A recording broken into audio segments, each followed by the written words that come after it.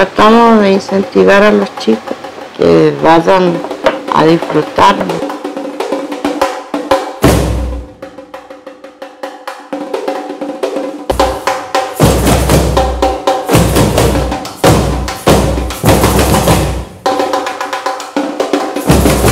ellos aprenden acá a bordar, aprenden a hacer estructuras, aprenden a hacer casquetes, todo tipo de cosas aprenden. Y aparte, aprenden a compartir.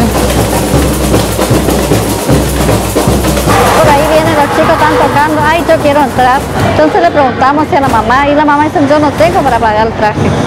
Pero le ayudamos, le ayudamos para que ellos salgan a, a tocar, a bailar, lo que sea. el sueño sería este, que, que todo salga perfecto y que lleguemos a tiempo, que lleguemos a tiempo.